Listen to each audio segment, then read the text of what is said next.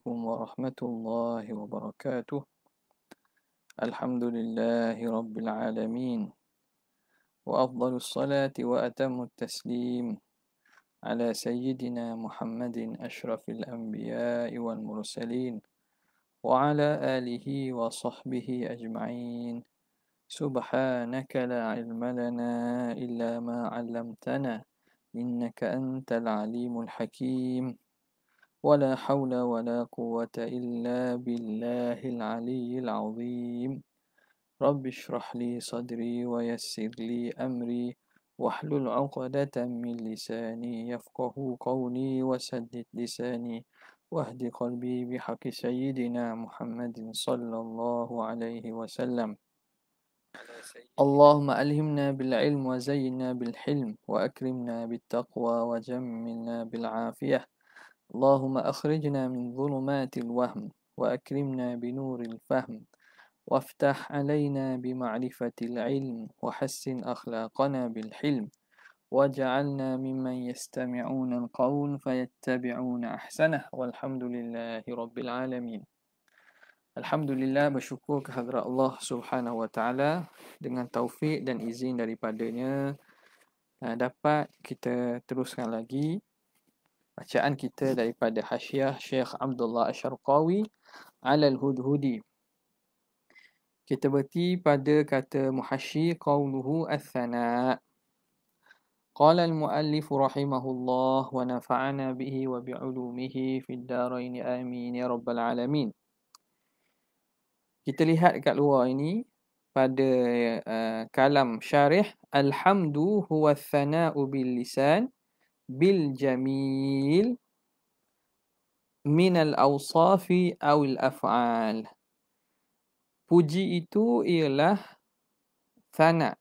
Alhamdu ialah memuji dengan lidah dengan perkataan dengan sesuatu yang cantik yang elok daripada sifat-sifat dan perbuatan-perbuatan. Kata muhasyi rahimahullah qawluhu as-sana. Alhamdu ila as-sana. Jadi perkataan kita pada ta'rif alhamdu huwa sana itu jinsun. Ha, sebagaimana dalam mantik kan apabila mu'arraf hendak ditarifkan dengan satu ta'rif maka dia akan datangkan dengan jins dan fasal. Ha, dia akan datangkan dengan jins dan juga fasal yang mana dengan Uh, jins dan fasal itulah yang akan memasukkan segala afrod mu'arraf ke dalam ta'rif dan juga mengeluarkan yang bukan daripada uh, mu'arraf dalam ta'rif. Uh, yang bukan daripada mahiyah ataupun hakikat sesuatu yang nak ditarifkan di dalam ta'rif. Maka uh, dalam dalam mantik kita lihat bahawa disusun jinsun mula-mula kemudian didatangkan fasal-fasal-fasal. Jadi jins ni boleh kita katakan uh, dalam takrif tu ialah perkataan yang mula-mula itu. Uh, dia satu kategori umum. Lepas daripada kategori umum dia ada fasal-fasal yang kecil. Al-insan hayawanun natiq. Insan kita nak takrifkan insan. Apa itu insan? Takrif dia ialah hayawanun natiqun. Jadi hayawan tu jins lah. Ah, kategori umum. Lepas tu dia ada fasal-fasal cabang-cabang kategori khusus tu yang dengannya itu terkeluar selain daripada manusia dalam takrif manusia tadi. Ah, ya. Yeah. Jadi itu kita lihat dalam perbincangan mantik pada bab takrif eh. Okey, kembali kepada kata muhasyi kita. Jadi athana ini ialah jinsun. Ha. Alhamd huwa thana. Maka dia itu sebagai jins fihi alhamdu al-mu'arrafu wa ghairuhu. Maka termasuklah dalam kalimah thana itu ialah puji yang ditakrifkan dan selain daripada itu. Ha, jadi kalimah thana ni kalimah umum. Ha, kalimah umum lafaz pujian.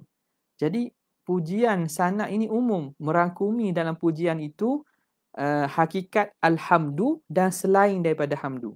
Kenapa? Uh, tengok dia kata. Ini dibina binaan ala anna thana'a huwa al-ityanu bima yadullu ala ittisafil mahmudi bis sifati al-jamilati walau bi ghairi lisani kerana dibina di atas bahawa sana itu kalimah atau lafaz sana itu memberi makna ialah itian mendatangkan bima yadullu ala sesuatu yang menunjukkan ke atas ittisafil mahmud bersifatnya bersifatnya yang dipuji bis sifatil jamilah dengan sifat-sifat yang cantik yang elok walau bi ghairil lisan walaupun bukan dengan lidah.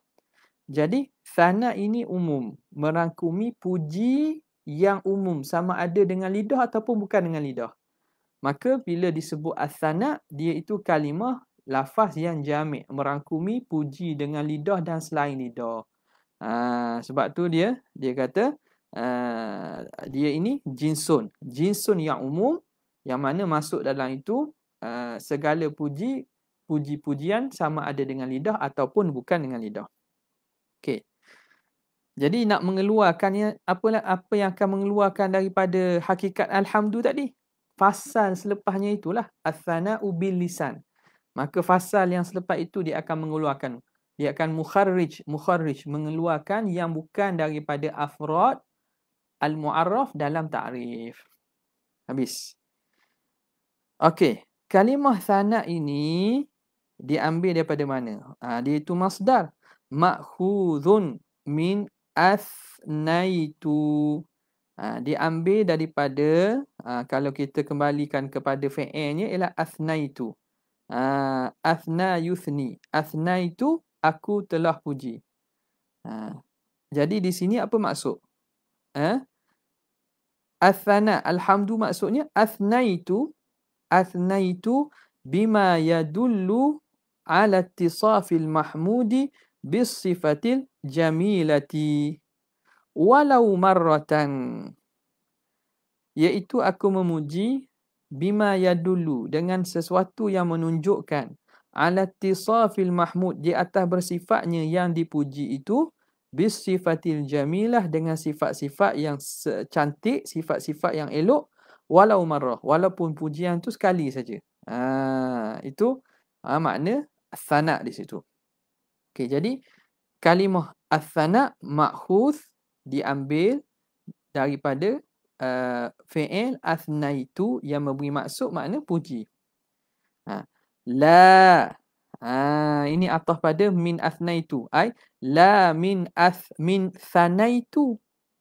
Bukan daripada athana itu bukan diambil. Ay, la la ma'khudun.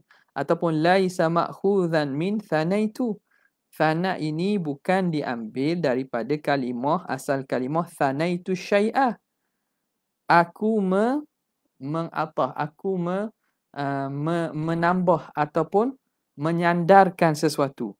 Idza atafta apabila kamu kamu atafkan kamu sandarkan kamu kaitkan ba'dahu ala ba'din sesuatu sebahagiannya atas sebahagian yang lain.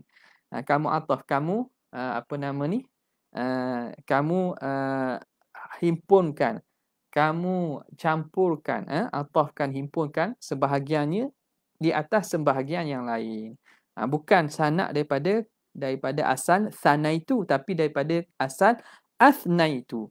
Ha, itu daripada uh, nak melihat kepada istiqaq dan juga uh, tempat ambilan kalimah sana daripada makna apa dalam bahasa Arab. Ya. Yeah. Kenapa dia kata la min thanaitu syai'a idza ataftahu idza atafta ba'dahu ala ba'din? Liqtidaihi. Kerana memberi pahamnya iktidha ni memberi faham liqtidaihi at-takrara. Kerana dia memberi faham berulangan. Jadi bila kita menyandarkan sesuatu atas sesuatu kita me, me, me apa ni uh, mengkaitkan sesuatu atas atas sesuatu uh, maka itu memberi faham ada pengulangan kita buat satu kita atah atas dia atah atas dia atah ni maknanya berulang lah maka bila uh, sana itu sana diambil daripada kalau dia diambil pada sana itu, dia memberi makna takrar. Memberi makna berulang-ulang. Kerana sana itu syait ni atah kita campur, kita tambah, kita kita gabungkan, ha, kita rangkaikan sesuatu atas sesuatu, maka memberi faham takrar. Ha, maka begitu fayalzamu alaihi lazim daripada atasnya atas uh, di atas memahamkan ataupun istiqaq sana daripada sana itu itu yalzamu kaunu fa'il bagi yalzamu eh yalzamu kaunu ta'rif ghaira jami'in ghaira ni jadi khabar kepada masdar kaun lazim oleh keadaan ta'rif itu ghaira jami'in tidak jami' lah bila kita kata sana itu asal daripada sana itu yang memberi makna ataf tu. Tak. Uh, memberi makna ataf tu. Makna ataf ni tambah. Dia ada memberi makna pengulangan. Maka takrif itu tidak boleh jadi jamik. Kenapa? Li khurujil hamdi li khurujil hamdi ghairil mukarrar. Kerana akan keluarlah pujian yang tidak berulang. Kalau kita kata sana itu dengan makna pengulangan yang memberi makna pengulangan. Dengan asal kalimah sana itu. Dah kalau puji yang tidak diulang tak termasuk dalam takrif lah ha, jadi takrif itu tidak jami' nama dia takrif itu tidak menghimpunkan kepada afrad mu'arraf maka itu dipanggil takrif ghairu jami' jadi takrif ataupun had had dan takrif dalam ilmu mantik ni sebaik dan sepatutnya dia itu jami' dan mani'. Makna jami' itu apa? Ay yajma'u jami'a afradil mu'arraf. Dia menghimpunkan sekalian afrad, sekalian uh, poin-poin atau sesuatu yang termasuk dalam mu'arraf dalam takrif. Mani'un ay mani'un uh, min dukhuli ghairiha fih. Menghalang yang selain daripada afrad mu'arraf masuk dalam takrif. Okey.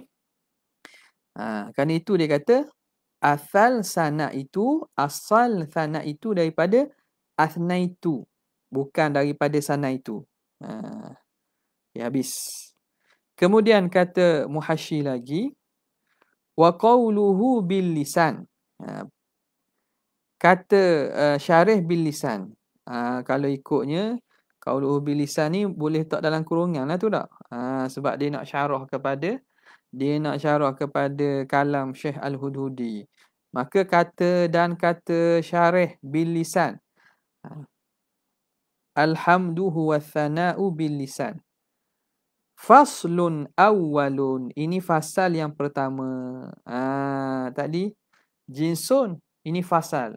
Fasal yang pertama kharaja bihi mengeluarkan dengannya athana'u bi ghairihi puji yang selain dengan lidah bila kata alhamdu itu ialah puji dengan lidah keluar dengan puji dengan lidah itu puji yang bukan dengan lidah ha, contoh puji dengan kaljanan. Ha, seperti puji dengan hati. Wal arkan. Ha, al janan al janan ni makna hati kulub ah. Ha, al jinan tu jamak uh, jannah. Ha, al jinan jamak kepada jannah kebun-kebun. Uh, jinan. Uh, al janan itu hati. Uh, ini kadang-kadang pun kadang-kadang kita uh, mungkin tersilap sebutlah jinan dengan janan maksud yang berbeza tu uh, jadi kalau kalau al jinan itu jamak kepada jannah kebun-kebun, syurga-syurga, nampak?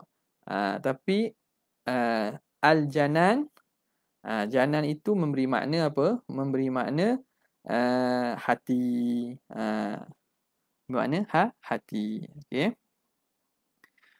Kemudian, kata Musannif rahimahullah lagi, uh, uh, maka keluar dengan dengan fasal yang pertama itu lisan itu ialah puji dengan selain lidah. Seperti puji dengan hati wal arkan puji dengan anggota badan. Maka itu semua falaisa hamdan lughatan. Maka dia tidak dikira puji pada bahasa.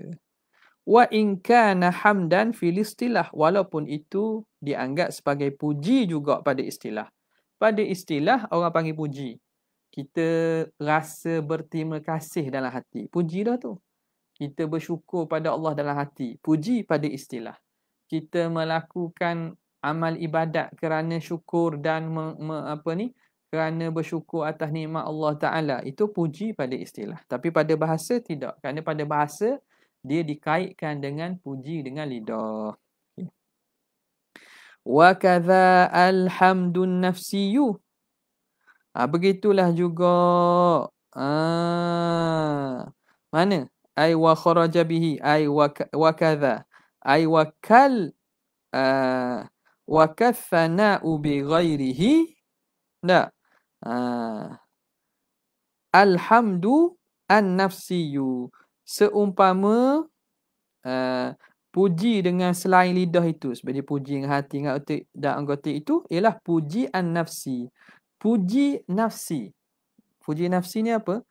Puji dalaman kita lah. Puji secara dalaman. Uh, dia tidak puji dengan dengan dengan apa nama ni? Uh, uh, apa perkataan. Tapi puji yang berbentuk dalaman, perasaan. Tak, uh, macam kalam nafsi dah ni. Nampak tak? Macam kalam nafsi bagi manusia itu apa yang ada dalaman dia. Maka dikeluarkan, maka itu kalam nafsi. Jadi puji pun ada puji nafsi. Ha, keluar juga. Sebab apa? Sebab tarif puji pada bahasa puji dengan lidah. Maka tidak termasuk ialah puji an-nafsi. Wahamdu al-jamadati. Dan puji, puji, uh, dan puji sekalian jamadat. Jamadat ni benda-benda yang tak berakal. Ah, batu, kayu, pokok, air, gunung ganang, langit. Ha, jadi itu mereka itu puji juga. Ha, ini asyamilu lahu yang merangkumi baginya ialah qauluhu oleh firman Allah Taala wa im min syai'in illa yusabbihu bihamdihi walakin la tafqahuna tasbihahum. Ha. Dan tidak ada wa im min syai'in inafiyah dan tidak ada daripada sesuatu. Illa kecuali yusabbihu bihamdihi. Kecuali sesuatu itu mestilah dia itu bertasbih dengan memuji Allah taala. Walakin la tafqahuna tasbihahum. Namun kamu tidak mengerti dan tidak faham tasbih dan bahasa mereka. Jadi di sini ayat Quran ini merangkumi juga puji bagi sekalian jamadat. Ha, Allah Ta'ala kata makhluk-makhluk ni walaupun dia bukan berakal, dia makhluk-makhluk yang tak bernyawa seumpamanya itu, tapi sebenarnya mereka memuji Allah Ta'ala. Tapi kita yang tak boleh dengar, tak faham. Okay? Ha, jadi, hak tu kali ikut pada takrif terkeluar juga. Illam yakun. Uh, illam yakun lafziyan. Kalaulah dia itu bukan lafzi. Ha, makna makhluk-makhluk ini benda-benda yang tidak boleh bercakap ini dia memuji. Ha, kalau bukanlah bentuk pujian lafaz. Ha, kalaulah wa illam yakun eh, illam yakun jika adalah dia itu bukan berbentuk lafzian kharqan lil adati yang mana iaitu mencari bagi adat. Maka semua tadi falaisa hamdan lughatan ha, tidaklah dikira sebagai puji pada bahasa. Hakikatan akan sebagai eh, puji pada hakikat. Ha, jadi ha, naskah yang ada cuba tengok eh siapa yang ada naskah uh, yang berbeza. Ada waw tak? Lughatan wa hakikatan ke ke tidak ada waw ni sini? Uh, ada waw tak? Kalau tak waw pun boleh. Boleh difaham tu. Nampak? Uh, tetapi uh, kalau ada waw uh, boleh juga lagi jelas. Lughatan wa haqiqatan. Ataupun lughatan haqiqatan pun tak apa. Uh, dialah bukanlah puji pada bahasa dan hakikat. Pu- bukanlah puji pada bahasa. Uh, serta hakikat pun bukan juga pada hakikat. Bukanlah bahasa bukanlah puji pada bahasa pada hakikat. Sebab apa? Sebab benda itu tidak ada lafaz. Hamdun nafsi, puji dalaman kita. Kita merasa bersyukur tu dalam perasaan kita. Adakah dia dikira puji pada bahasa? Bukan puji pada pada bahasa. Ha, adakah binatang uh, binatang-binatang ataupun makhluk-makhluk yang ada kat bumi yang tak menyawa atau menyawa ini mereka memuji Allah Taala yang tidak ada lafaz yang terkeluar lah maka itu bukanlah pujian pada bahasa. Ha, okay. Cuba tengok kalau ada nuskah yang kata luratan wa hakikatan boleh kita kita buat uh, buat apa nama ni uh, buat penambahan di sini uh, buat ta'liq di situ.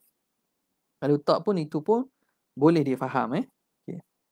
Bal majazan bahkan itu puji pada uh, majaz. Uh, dipanggil puji juga tapi secara majaz bukan secara hakiki. Ah. Okey. Ha, bukan secara hakikat. Ha, secara hakikat dia tidak berlafaz tapi pada majaznya bolehlah kita kata itu puji juga pada secara majaz. Okey. Ha. Okey. Wa in kana lughatan hakikatan. Jadi tak ada, tak apa. Pada bahasa dari segi hakikatnya. Ha gitu pada bahasa dari segi hakikat. Bahkan dia itu hanyalah majaz. Wa in kana. Ha, walaupun adalah uh, puji tersebut tadi fanaan hakikatan. Walaupun adalah segala yang disebut tadi ialah pujian pada hakikat binaan kalau dibinakan ala ta'rifi thana bima marra di atas ta'rif puji dengan apa yang telah lalu. Ha, dengan apa yang telah lalu mana? Ta'rif puji apa? Ha, kan dia kata ni kan huwal ityan. Ta'rif puji yang telah lalu ityan bima. Ha. Ityan bima yadullu ala tisafil mahmudi bisifatil jamilati walau bi ghairi lisan. Nampak? Ha, jadi kalau ikut pada takrif itu maka itu dikira sanak pada hakikatnya juga sebab dia berbetulan dengan takrif. Itu kalau kita dibina di atas takrif sanak yang telah tersebut tadi.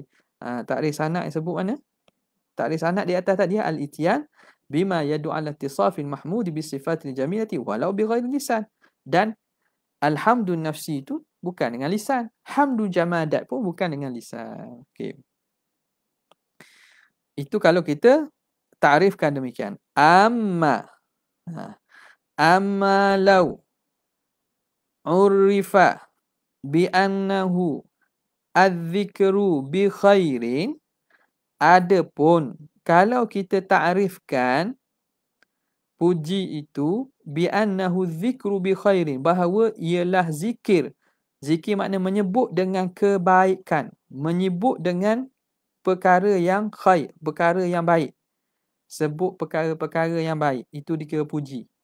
Kalau kita ta'rifkan puji itu, az-zikru bi khairin, maka falaisa thana'an aidha. Maka dia juga tidak dikira thana', tidak dikira puji. Sebab apa? Sebab alhamdulillah nafsi tidak ada sebutan, tidak ada zikir. Hamdul jamadat tidak ada sebutan, tidak ada zikir, tidak berlafaz. Maka ha, dia juga tidak dikira sanad. Ha. Okey. Maka uh, wa alaihi uh, ay wa ala ta'rifi bi anna thanaa dhikrun bi khairin yakunu dhikrul lisani mustaghnan anhu maka jadilah menyebut al-lisan dhikrul lisan menyebut lisan itu mustaghnan anhu terkaya daripadanya. Terkaya daripada maksud tidak ada hajat tak perlu sebut. Adalah menyebut lisan itu terkaya daripadanya tidak perlu. Apa nak sebut ni? Dia nak kata pada ibarat syarih. Syarih kata thana bil lisan. Puji dengan lidah. Kalau kita kata atas takrif mentakrifkan sanad itu zikru bi khairin zikru bi khairin. Maka tak perlu sebut lisan ni. Sebab zikir itu memang dengan lisan. Zikir itu sebut lidah. Memang dengan lisan. Maka tidak perlu. Ha, sebab itu dia kata, Adapun kalau kita binakan di atasnya, maka menyebut lisan itu mustaghnan anhu tidak perlu terkaya daripadanya maksud tidak perlulah sebut lisan sebab zikir itu dah memadai ha, dia nak nak nak apa dia nak bincang pasal takrif ni ha, sebab takrif sebagaimana mana tiqah menyebutkan mesti jami' mani dia tak perlu ada hashwun ha, hashwun ni makna kalimah yang tak perlu bawa datang dia dia tambah-tambahan ha, Ha, jadi dalam takrif yang had yang makna jami' mani hashwu ni hendaklah benda yang perlu dijauhi daripada takrif. Okey. Uh, itu itu kalau kita kata dengan makna zikir, sanad dengan zikir. Wa'tadhara dan mencari membuat uzur ba'duhum. Membuat uzur oleh sebahagian mereka. Buat uzur ni makna cari alasan cari jawapan. Uh, i'tadhar ini makna me, me, me, membuat uzur, mencari uzur. Mencari uzur ni makna cari alasan, cari sebab untuk untuk tidak dikritik. Uh, makna sebahagian daripada mereka kata wa'tadhara ba'duhum an zikrihi daripada menyebutnya musannif bil lisan tu hina idzin ketika itu ai hina urifa al-thana bi dzikri bi khairin apa uzur dia? Bi annahu bahawa sesungguhnya li bayanil waqi'. Fas bil lisan itu qaidun li bayanil waqi' sahaja. Qaid untuk menerangkan waqi', menerangkan hakikat. Bukan qaidun mukhrij. Ha, bukan qaid yang mengikhrajkan, yang mengeluarkan yang bukan daripada mahiyatil tak mu'arraf dalam ta'rif. Ah, boleh tak tu? Uh, ni banyak guna istilah sikit ni. Uh, jadi harap-harapnya makna kalau kita uh, uh, boleh uh, faham tu alhamdulillah kalau tak tak boleh kita kena kena muzakarah balik. Ingat balik pada masalah ilmu ilmu mantik pada masalah ta'rif. Okey. Jadi qaid tersebut sebahagian mereka mencari unzur sebahagian mereka daripada menyebutnya musannif ketika itu dengan bahawa sesungguhnya qaid itu qaid tersebut untuk libayanil waqi' untuk menerangkan waqi' sahaja kama huwal aslu fil quyud sebagaimana itulah asal pada quyud pada qaid-qaid pada kait-kait dalam dalam takrif. Ha okey itu satu alasan. Itu satu alasan uzur kenapa uh, musannif sebut juga bil lisan tadi. Walaupun kalau ikutnya afana dengan makna azzikru bi khair telah memada daripada kita sebut bil lisan itu usul yang pertama. Au li raf'i au li raf'i ihtimal tajawuzi. Ataupun musannif sebut juga bil lisan itu untuk menghilangkan ihtimal tajawuz ihtimal majas ha. Musannif sebut al-athana bil lisan juga. Kenapa sebut juga bil lisan? Padahal memada athana tersebut. Kerana untuk menghilangkan, mengangkat ihtimal tajawus, mengangkat ihtimal ada berlaku majas dalam dalam ayat tersebut. Bi itlaqi ah, dengan majas kok mana? Majas bi itlaqi thana ala mail ala ma laysa bil lisan majazan kerana diitlakkan sana pujian itu di atas apa yang bukan dengan lidah secara majas. Ha, jadi kerana ada ihtimal dimaksudkan sana itu dengan makna majas iaitu puji walaupun bukan dengan lidah maka musannif mendatangkan juga kalimah bil lisan untuk mengangkat ihtimal majas tersebut. Ha, jelas eh? wa ala kulli dan di atas apa-apa sekali pun lah. Ha, ikutlah ihtimal mana-mana pun. Ha, khulasahnya fal muradu bil lisan yang dimaksudkan dengan lisan tersebut bil lisan alatu an nutqi alat bertutur. Alat bertutur lidah tu lah. Ha, alat bertutur alat bertutur tu umum lah walau ghairal ma'hud ay walau kanatil alatu ghairal ma'hud. Walaupun alat bertutur tu bukan yang biasa. Alat bertutur alat bertutur ni umum lah tapi ghalibnya lidah. Tapi bukan mesti lidah. Maksud dengan lidah ni alatun nutq, alat pertuturan. Walaupun bukan alat yang biasa, bukan alat tu pertuturan yang biasa. Maka begitu fayashmalu thanaa al-mantuqa bihi bighairiha. Maka termasuklah puji yang disebut dengan selain lidah. Termasuk juga. Kama seumpama kama lau nataqat yaduhu sebagaimana kalau berkata-kata tangannya karamatan kerana karamah aa, ah, akan sebagai karamah ah, Tuhan bagi tangan seorang tu bercakap lalu tangan itu memuji maka adakah itu dikira sanak juga? Oh termasuklah.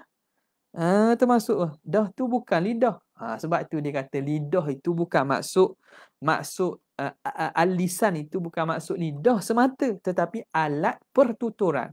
Alat yang boleh mengeluarkan bahasa dan lafaz. Ha, sebab itu termasuklah juga puji yang dituturkan dengan selain lidah.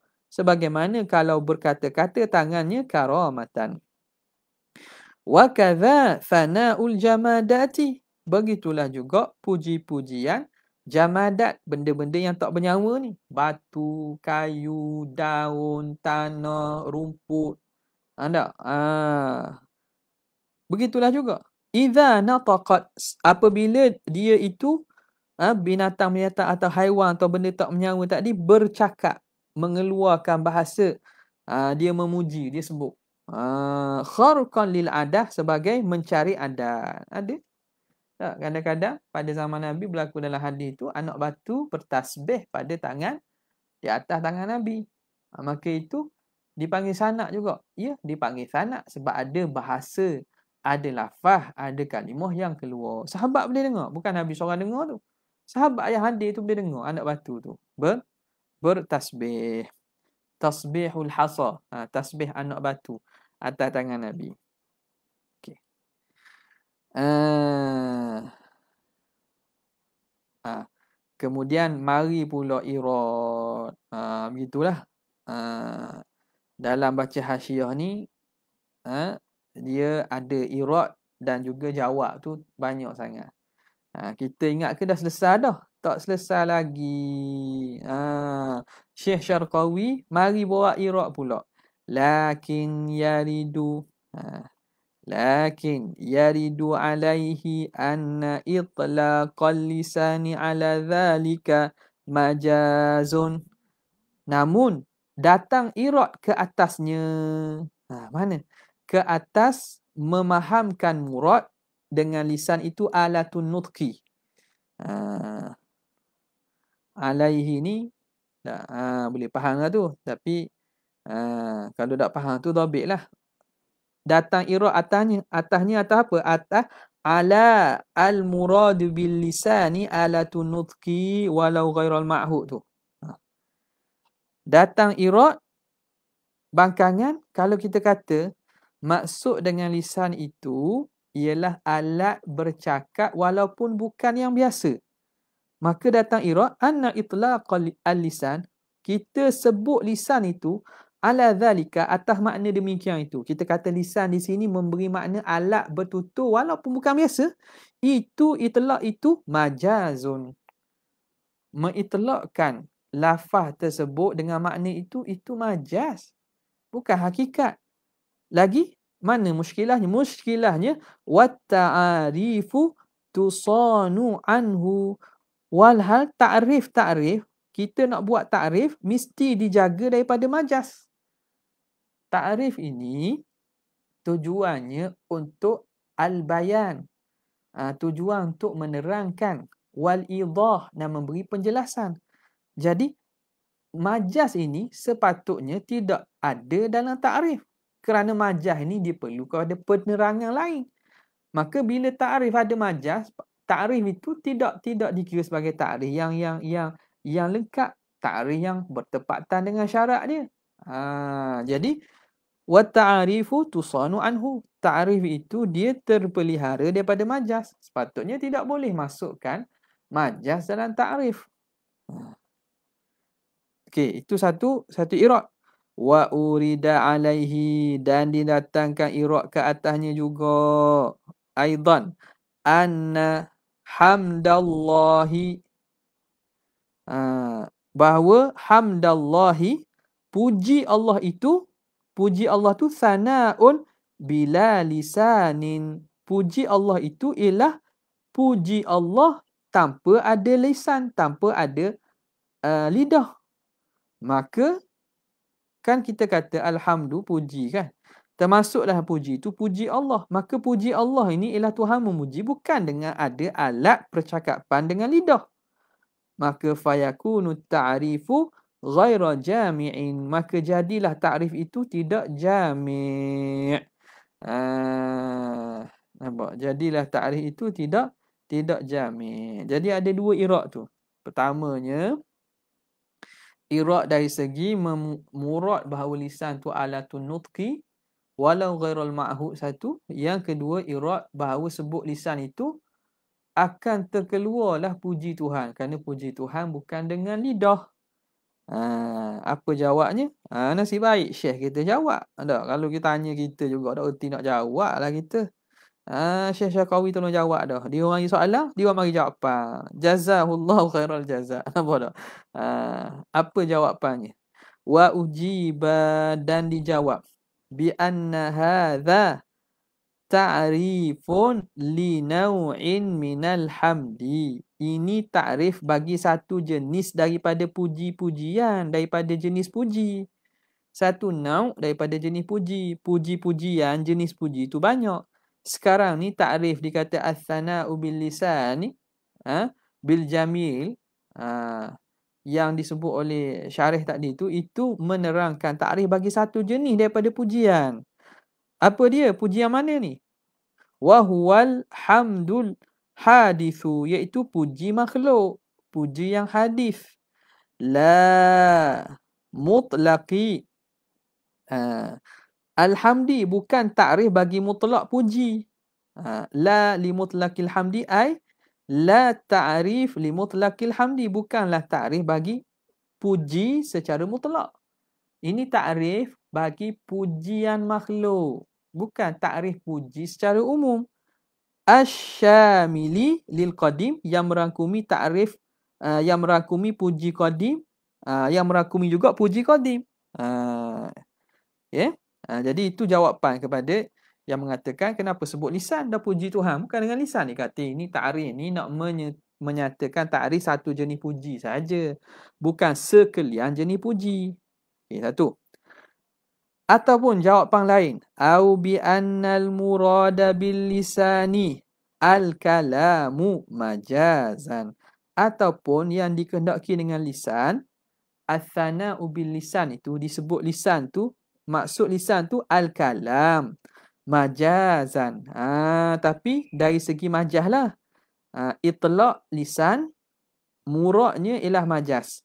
Sebut lisan tapi dikehendaki ialah uh, kalam jadi min babi itlaqil lisan wa iradatil kalam itu majahlah tu. Ha, min itlaqis ismil malzum daripada menyebut isim malzum wa iradat wa iradatil lazim. Ha, dia termasuk daripada itlaq isim malzum. Tapi iradah hendaknya hak lazim. Ha, sebut malzum tapi naknya lazim min itlaq ismil malzum wa iradatil lazim. Sebut isim malzum, nama yang uh, benda yang malzum tapi maksudnya lazim. Uh, apa dia? Uh, mana lazim, mana malzum? Uh, lazim, malzum di sini ialah al-lisan. Lazimnya ialah al-kalam. Uh, ini mudah je kalau orang dah biasa ni mudah je boleh kenal lazim dan malzum. Ha, nampak tak? Ha, kalau kita tu kena kalau tak tak tak biasa ataupun kita tertukar, ha, dobik lah. Malzum tu kena kepada lisan. Ha? Lazim tu kena pada kalam. Jadi di sini puji dengan lisan. Ha, puji dengan lisan.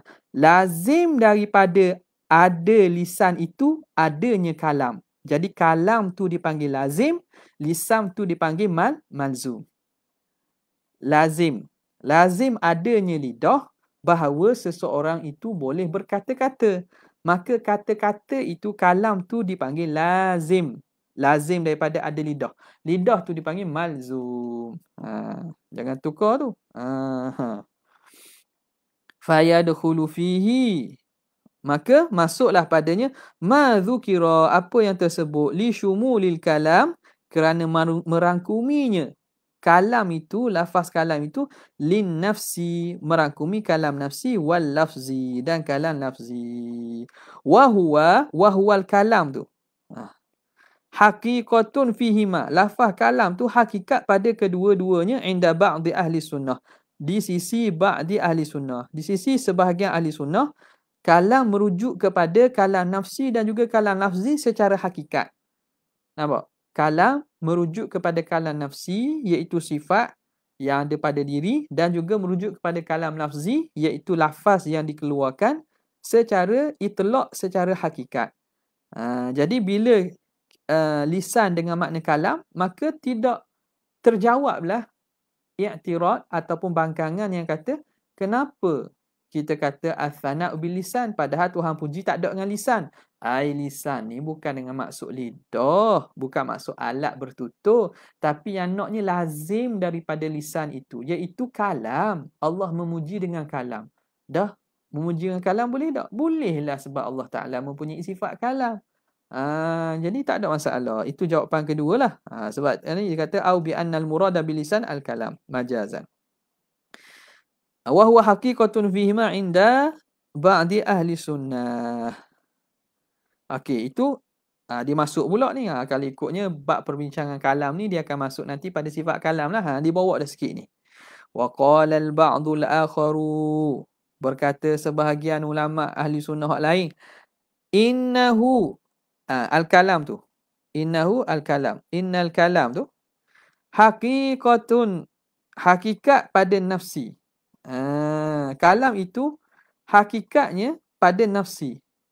Wa majazun haqiqatun fi nafsi wa majazun fil lisani. Majaz pada lisan. Ha, sebahagian ulama yang lain dia kata kalam itu kalam itu hakikatnya hak duduk di dalam. Dan pada luaran itu majaz saja. Ha, sebagaimana kalam yang kita biasa dengar lah syair apa innal kalama la fil fuadi wa innama ju'ila lisanu 'ala al fuadi dalila ha, kalam al akhtal kan?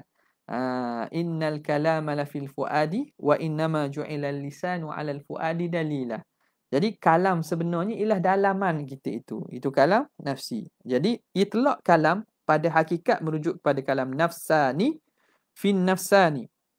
Haqiqatun fin nafsi nafsani wa majazun fil lisani. Dan majaz pada lisani. Ah, okey. Jadi ah, sini ni jangan bertukar ni. Ah, dirbaluko.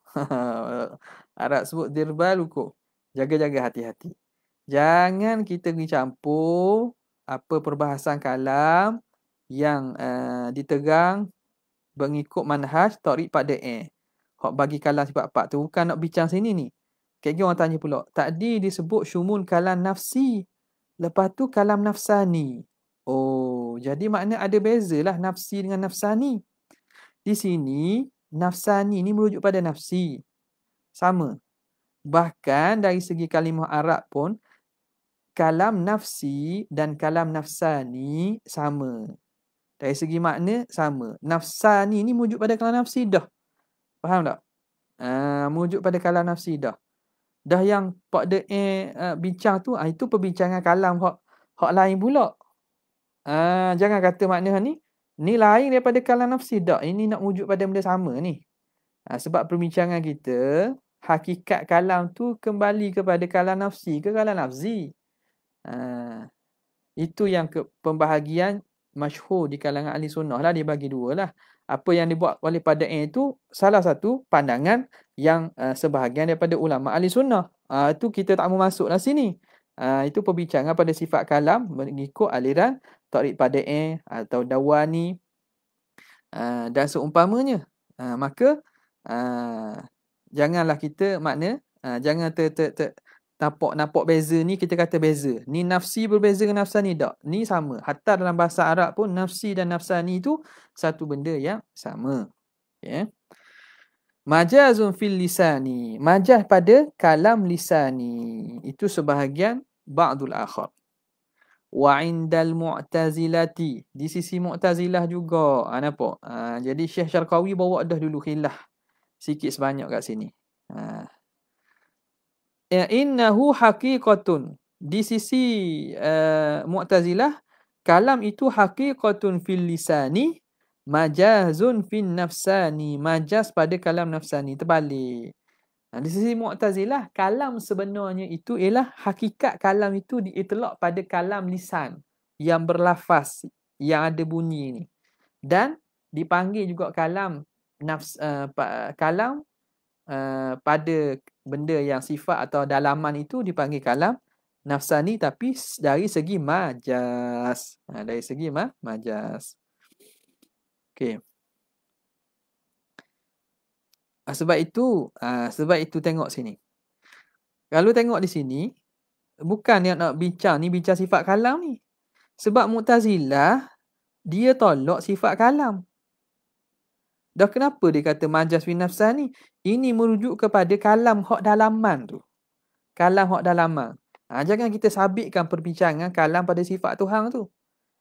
Jangan sabitkan uh, kalam perbincangan pada sifat Tuhan tu. Jadi ini nak menunjukkan bahawa pada bahasa kalam tu hak dalam disebut kalam nafsi atau nafsani, hak luar kalam lisani atau lafzi tu, uh, hak mana satu itlaq lafaz di atas hakikat. Hakikat pada mana?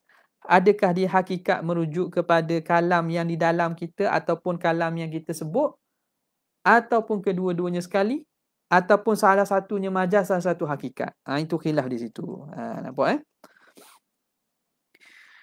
Qauluhu. Ha, sebab itu Mu'tazilah. Ha, Mu'tazilah kata ada kalam nafsani ni. Ha, kalam nafsani.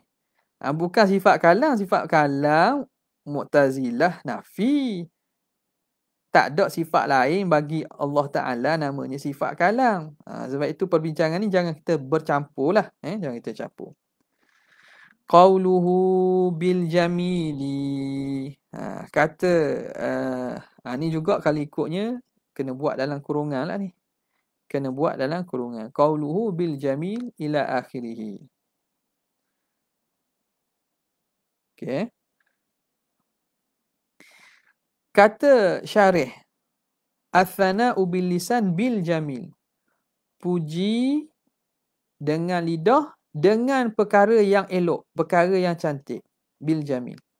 Ini faslun tanin, fasal yang kedua. Kharaja bihi, keluar dengannya, athana'u bil lisan, puji dengan lidah, bi ghairil jamil, yang bukan dengan perkara yang bi ghairil jamil. Uh, bukan dengan yang yang cantik. Atau bukan kerana sebab yang yang elok yang cantik. Ini in kulna jika kita berkata bi ra'yi Izzuddin ibni Abdus Salam. Kalau kita ambil pandangan Izzuddin ibn Abdus Salam, uh, sultanul ulama eh. Uh, Syekh Izzuddin ibn Abdus Salam apa kata dia? Anna bi ra'yi Izzuddin anna thana'a haqiqatun fil khairi wasyarr bahawa puji itu hakikatnya pada benda baik dan juga pada benda buruk.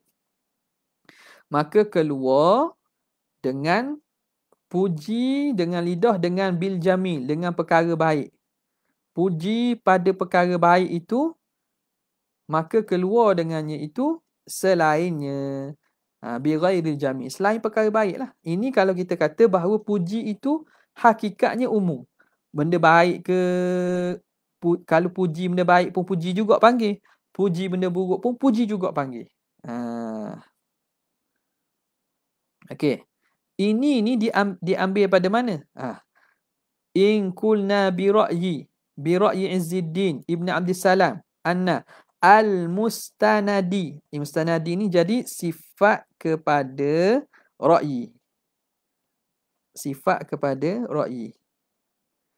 Kalau kita berpegang atas pandangan Izzuddin bin Salam yang bersandar al-mustanadi yang disandarkan fihi padanya ila hadis Ha, pada hadis, ini hadis Nabi ni. Hadis apa? Marra bi janazatin. Telah lalu ni hadis Nabi SAW, sahabat cerita. Satu hari lalu di depan kami bi janazatin. Fa'athnu alaiha khaira. Lalu orang ramai pun puji baik. Oh, baik sungguhlah si fulan. Siapa mati tu? Si fulan mati. Masya Allah. Baik si fulan masih hidup. Begian, begian, begian. Baik dia buat banyak. Dia buat kebaikan. Thumma bi janazatin. Kemudian mari jenazah lain pula. Fa'athnu fa'ath fa'athnu alai uh, apa fa'athnu alaihi syarra maka dia puji di atasnya syarra fa'ath uh, uh, fa'athnu alaihi syarra. Maka dipuji di atasnya ke kejahatan. Nampak di sini. Syahidnya di mana? Syahidnya pada fa'athnu. Ha. Syahidnya pada pada situ. Nampak tak? Ah. Syahidnya pada situ. Dia guna uh, dia guna kedua-dua itu dengan lafaz athnau belaka. Ha, dia guna lafaz yang sama. Sanak belaka. Nampak? Okey. Hak baik pun dia guna sanak juga. Hak buruk pun dia guna sanak juga. Ha. Okey. Ha, jadi fa'athnau. Ha, fa'athnau alaihi maka dia puji ke atasnya uh, athna yuthni kan? Jadi fa'il uh, fa'il fa'il madhi fa'il madhi athna yuthni uh, athnau alaihi. Ha. fa athnau alaiha khaira. Jadi di sini fa athnau alaiha khaira mereka memuji baik. Maka puji-puji baik. Mereka puji-puji baik. Mereka puji-puji jahat. Maka di sini dua-dua athnau ni daripada uh, sanak ini menunjuk kepada baik dan buruk. Sebab itu Izzuddin bin Asalan kata As-sana haqiqatun fil khairi wasyarri. Ini berdasarkan kepada hadis Nabi ini. Marra bi janazatin fa athnau 'alaiha khaira thumma bi janazatin fa athnau 'alaiha syarra. Ha. Mari satu jenazah maka dipuji dengan baik. Mari satu jenazah Maka dipuji dengan buruk. Panggil puji juga. Ah, panggil puji juga. Nampak? Ah, jadi, ketika itu, ah, kataan Izzuddin dan Abdul Salam ni, dia hujah kepada hadis tersebut. Okey. Maka, Qaid bil Jamil ini keluar dengannya puji dengan perkara buruk. Fa'in kulna bira'il jumhur. Kalau kita mengatakan dengan pandangan jumhur ulama' Ha. Annahu haqiqatun fil khairi faqat. Bahawa puji itu ialah hakikat pada pada kebaikan saja. Bila sebut sana itu benda baik, puji benda baik saja. Benda buruk orang tak puji. Nampak tak? Ha, puji pada kebaikan saja. Kama yustafadu sebagaimana dapat difaham fi ta'rifi sabiq pada ta'rif yang terdahulu. Ha, kalau kita ambil pandangan jumhur yang mengata kalimah sana itu ialah puji pada perkara baik sahaja. Maka fahuwa mustaghnan anhu. Maka itu takrif tersebut terkaya daripadanya. Ter, daripada mana? Daripada sebut jamil. Anhu an anil jamil. Mana ni? Ha. Dari, uh, daripada daripada sebut jamil. Ha, sebab dia kata Asana bil lisan bil jamil. Maka tak payah sebutlah jamil. Sebab asana tu sendiri dah ialah sebut dengan kebaikan. Sebut baik. Maka tak payah sebut jamil. Tak perlulah. Ha. Tapi kenapa sebut juga? Ha. Kenapa sebut juga? Wa faidatu zikrihi dan faedah menyebutnya hina izin. Ha. Ketika itu. Yang mana ketika bahawa kita ambil pandangan bahawa hakikat sana itu ialah pada kebaikan sahaja. Faedah sebut juga itu tahqiqu mahiyati sana mentahqiqkan, menyungguhkan, ha? menekankan, mesungguhtikan hakikat sana, hakikat puji itu. Kama huwal aslu fi zikril quyudi syai' sebagaimana itulah asal pada menyebut qaid-qaid sesuatu dalam takrif. Ha, nazira ma marra. Akan sebagai ha, seumpama apa yang telah lalu. Mana? Pada masalah as-sana'u bil lisan. Kan disebut kan menerangkan hakikat sesuatu kan? Ha, jadi ha, boleh nazira boleh naziru hala kaunihi nazira ataupun huwa naziru ma marra. Ha, kita nak sebut nazira pun boleh. Ha, dia itu seumpama apa yang telah lalu. Samalah. Ha, kenapa sebut juga walaupun dah dipaham? Ha, itu nak menerangkan zikrul quyud ah tahqiqu mahiyati thana kama huwa al-aslu fi zikril quyud syai nadhira ma marra. Okey kemudian kata muhasyi lagi. Ha, kat mana nak buti ni? Hmm. Wa al fil jamil lil jinsi. Ha, buti situlah mudah. Ha, wa al fil jamil lil jinsi. Al alif lam pada al jami itu alif lam al jinsiyah wallahu taala a'la wa a'lam. Okey uh, sekadar tu sajalah uh, untuk malam ini. Wabillahi taufik wa hidayah. Wassalamualaikum warahmatullahi wabarakatuh